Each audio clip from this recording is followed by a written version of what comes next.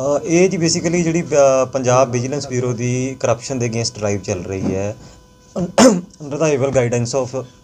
chief director vigilance Shri Varinder Kumar ji ਤੇ ਪਟਿਆਲਾ ਸਾਡੇ vigilance range ਦੇ ਐਸਐਸਪੀ ਸ੍ਰੀ ਜਗਤਪ੍ਰੀਤ ਸਿੰਘ ਜੀ, ਉਹਨਾਂ ਦੀ ਏਵਲ ਗਾਈਡੈਂਸ ਜਿਹੜੀ ਡਰਾਈਵ ਸਾਡੀ ਚੱਲ ਰਹੀ ਹੈ, ਤਾਂ ਉਹਦੇ ਤਹਿਤ ਅਸੀਂ ਜਿਹੜਾ ਤਹਿਸੀਲਦਾਰ ਤਪਾ ਹੈਗੇ ਹੈ, ਸੁਖਚਰਨ ਸਿੰਘ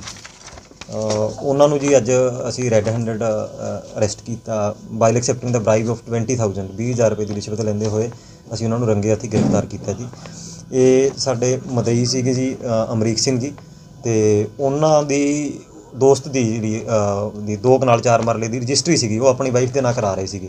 ਤੇ ਨਾਰਮਲ ਰਜਿਸਟਰੀ ਸੀ ਜੀ, ਕੋਈ ਮਤਲਬ ਖਾਮੀ ਨਹੀਂ ਸੀ ਉਹਦੇ ਚ ਤੇ ਉਹ ਰਜਿਸਟਰੀ ਕਰਨ ਦੇ ਜਿਹੜੇ 20000 ਰੁਪਏ ਉਹਨਾਂ ਦੀ ਡਿਮਾਂਡ ਸੀਗੀ।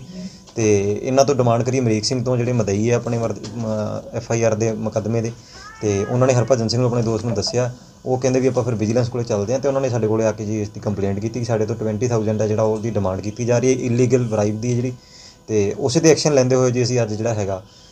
ਤਹਿਸੀਲਦਾਰ ਤਪਾ ਨੂੰ ਸੁਖਚਰਨ ਸਿੰਘ ਨੂੰ ਜੀ ਅਰੈਸਟ ਕੀਤਾ ਹੈ ਰੈੱਡ ਹੈਂਡਡ ਉਹਦੇ ਨਾਲ ਹੋਰ ਵੀ ਕੋਈ ਗ੍ਰਿਫਤਾਰ ਕੀਤਾ? ਨਹੀਂ ਜੀ ਅਸੀਂ ਤਾਂ ਇਕੱਲੇ ਜਿਹੜੇ ਤਹਿਸੀਲਦਾਰ ਹੈ ਉਹਨਾਂ ਨੂੰ ਹੀ ਜਿਹੜਾ ਤਪਾ ਉਹਨਾਂ ਨੂੰ ਅਰੈਸਟ ਕੀਤਾ ਅਮਰੀਕ ਸਿੰਘ ਹੈ ਕਿੱਥੋਂ ਦਾ ਜੀ ਜਿਹੜਾ ਮਦਈ ਹੈ ਅਮਰੀਕ ਸਿੰਘ ਜੀ ਪਿੰਡ ਬੀਲੇ ਦੇ ਜੀ ਡਿਸਟ੍ਰਿਕਟ ਬਰਨਾਲਾ ਹੀ ਹੈ ਦਾ। ਇਹ ਸ਼ਿਕਾਇਤ ਪਹਿਲਾਂ ਕੀਤੀ ਸੀ ਕਿ ਅੱਜ ਹੀ ਕੀਤੀ ਸੀ ਜੀ?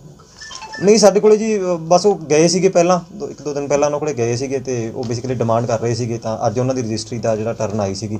ਤੇ ਉਹ ਨਹੀਂ ਸਰ ਜਿਵੇਂ ਹੁਣ ਅੱਜ ਫੜੇ ਗਏ ਨੇ ਸਰ ਇਹਨਾਂ ਦੇ ਨਾਲ ਕੋਈ ਹੋਰ ਵੀ ਸਰ ਸੰਬੰਧ ਰੱਖਦੇ ਨੇ ਕਿ ਜਿਨ੍ਹਾਂ ਦਾ ਕੋਈ ਹੋਰ ਯੋਗਦਾਨ ਹੋਵੇ ਕਿ ਰਿਸ਼ਵਤ ਲੈਣ ਦੇ ਵਿੱਚ ਦੇਖੋ ਬ੍ਰਦਰ ਇਹ ਹੁਣ ਅੰਡਰ ਇਨਵੈਸਟੀਗੇਸ਼ਨ ਹੁੰਦੀਆਂ ਚੀਜ਼ਾਂ ਇਹ ਨਾਲ ਦੀ ਨਾਲ ਨਹੀਂ ਹੁੰਦੀਆਂ ਆਪਾਂ ਨੂੰ ਪਹਿਲੇ ਦੇਖੋ ਫਸਟ ਹੈਂਡ ਨਹੀਂ ਆਪਣੇ ਅ, ਪਤਾ ਲੱਗਦੀਆਂ ਆਪਾਂ ਨੂੰ। ਐਫ ਆਈ ਆਰ ਰਜਿਸਟਰ ਹੋ ਗਈ ਹੈ ਆਪਾਂ ਜਦੋਂ ਤਫਤੀਸ਼ ਕਰਾਂਗੇ ਤਾਂ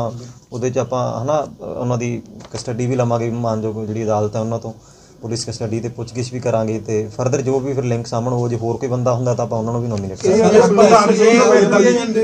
ਪੰਜਾਬ ਦੇ ਸੈਕਸ਼ਨ ਲਈ ਹੈ? ਨਹੀਂ ਇਹਦੇ ਬਾਰੇ ਨਹੀਂ ਸਾਨੂੰ ਨੌਲੇਜ ਵੀ ਪ੍ਰਧਾਨ ਨੇ ਜਾਂ ਨਹੀਂ section Seven PC 7 PC act ਜਾਂ prevention of corruption act computer operator ਵੀ ਇਹਦੇ ਨਾਲ ਕੋਈ? ਨਹੀਂ ਜੀ ਕੋਈ ਨਹੀਂ ਇਹਨੇ ਇਕੱਲੇ ਹੀ ਹੈ ਜੀ ਕਿਰਾ ਐਫ ਆਈ ਆਰ ਦੇ ਵਿੱਚ ਇਹੀ ਹੈ ਜਿਸ ਨੂੰ ਪਹਿਲਾਂ ਸਰ ਜ਼ਿਲ੍ਹੇ ਦੇ ਹੋਰ ਵੀ ਤਹਿਸੀਲਦਾਰ ਆਏ ਸੀ ਜਿਨ੍ਹਾਂ ਨਾਲ ਉਹ ਅੰਦਰ ਤੁਹਾਨੂੰ ਬੰਦ ਕਮਰਾ ਮੀਟਿੰਗ ਮਿਲ ਕੇ ਗਏ ਆ। ਉਹਨਾਂ ਨੂੰ ਤੁਸੀਂ ਬੁਲਾਇਆ ਸੀ ਇਸ ਜਾਂਚ ਦੇ ਵਿੱਚ ਜਾਂ ਉਹ ਇੱਥੇ ਤਹਿਸੀਲਦਾਰ ਦੇ ਹੱਕ ਚ ਆਏ ਸੀ? ਨਹੀਂ ਬ੍ਰਦਰ ਦੇਖੋ, ਉਹ ਕਿਸੇ ਹੱਕ 'ਚ ਨਹੀਂ ਆਏ ਤੇ ਨਾ ਹੀ ਆਪਾਂ ਉਹਨਾਂ ਨੂੰ ਬੁਲਾਇਆ ਸੀਗਾ। ਉਹ ਜਸਟ ਸਾਡੇ ਕੋਲੇ ਆਏ ਸੀਗੇ ਕਿ ਉਹ ਥੋੜਾ ਜਿਹਾ ਇੱਕ ਉਹ ਹੋ ਜਾਂਦਾ ਮਾਹੌਲ ਹੈ ਜਾਂ ਹੋ ਜਾਂਦਾ ਕਿ ਮਤਲਬ ਪਤਾ ਨਹੀਂ ਕੀ ਹੋ ਗਿਆ ਕਿ ਮਿਸ ਇਨਫੋਰਮੇਸ਼ਨ ਨਾ ਐਵੇਂ ਅਨਸੈਸਰੀ ਫੈਲੇ ਤਾਂ ਅਸੀਂ ਉਹਦੇ ਲਈ ਸੀਗਾ ਇਹਨਾਂ ਨੂੰ ਅਸੀਂ ਦੱਸਿਆ ਸੀ ਕਿ ਪ੍ਰੈਸ ਨੂੰ ਅਸੀਂ ਬਿਆਨ ਦੇਵਾਂਗੇ ਜੋ ਵੀ ਸਹੀ ਇਨਫੋਰਮੇਸ਼ਨ ਹੈ ਸਾਰੇ ਲੋਕਾਂ ਤੱਕ ਪਹੁੰਚਾਂਗੇ ਸਰ ਇਹਨਾਂ ਨੂੰ ਅਦਾਲਤ ਯਾਰੀ ਸੀ ਰਜਿਸਟਰ ਲਈ ਕੇਸ ਕੰਮ ਲਈ ਉਹ ਰਿਸ਼ਵਤ ਮੰਗ ਕੀਤੀ ਨਹੀਂ ਜੀ ਐਸਾ ਚ ਕੋਈ ਖਾਮੀ ਨਹੀਂ ਸੀ ਰਜਿਸਟਰੀ ਦੇ ਵਿੱਚ ਹੀ ਫਿਰ ਤਾਂ ਦੇਖੋ ਗੱਲ ਹੀ ਗਲਤ ਹੋ ਜਾਂਦੀ ਹੈ ਨਾ ਜੇ ਗਲਤ ਰਜਿਸਟਰੀ ਕਰਾ ਰਿਹਾ ਸਹੀ ਕਾ ਉਹਨਾਂ ਦਾ ਕੰਮ ਸੀਗਾ ਉਸੇ ਲਈ ਉਹ 20000 ਤਹਿਸੀਲਦਾਰਾਂ ਦੇ ਪ੍ਰਧਾਨ ਵੀ ਨੇ ਪੰਜਾਬ ਦੇ ਜੀ। ਨਹੀਂ ਮੈਨੂੰ ਜੀ ਇਸ ਚੀਜ਼ ਦੀ ਇਨਫੋਰਮੇਸ਼ਨ ਨਹੀਂ ਹੈਗੀ ਦੇਖੋ ਹਨਾ ਕਿ ਉਹ ਪ੍ਰਧਾਨ ਹੈਗੇ ਆ ਜਾਂ ਨਹੀਂ ਹੈਗੇ